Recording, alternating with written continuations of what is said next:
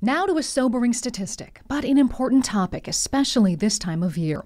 According to the National Drowning Prevention Alliance, we lose 10 school buses of children to unintentional drownings every year. Drowning is silent and can happen within 30 seconds. Right now, the American Academy of Pediatrics is urging families and caregivers to provide multiple layers of protection to keep our children safe around water. There are lots of ways to prevent tragedy, and they say it starts with swim lessons.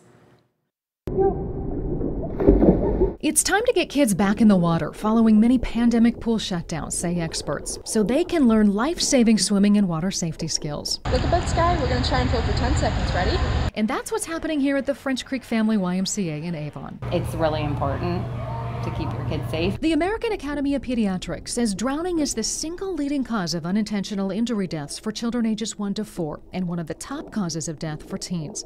Most kids are ready for swim lessons by age 4, but the AAP says swim lessons are beneficial for children starting at the age of 1, saying classes that include a parent are a comfortable way to introduce water safety. At the YMCA of Greater Cleveland, they begin with baby and me classes and go up from there. It's a good lifelong skill to have.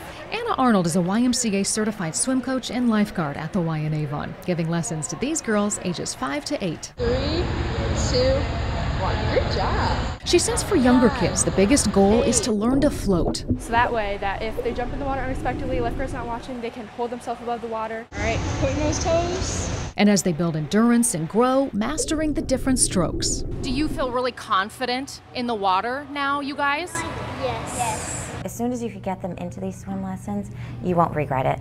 Their moms watching on tell me it's amazing how quickly they saw results and the cautious confidence swim lessons have given them all. You'll see group settings in other like public pools. Kids can roughhouse around each other.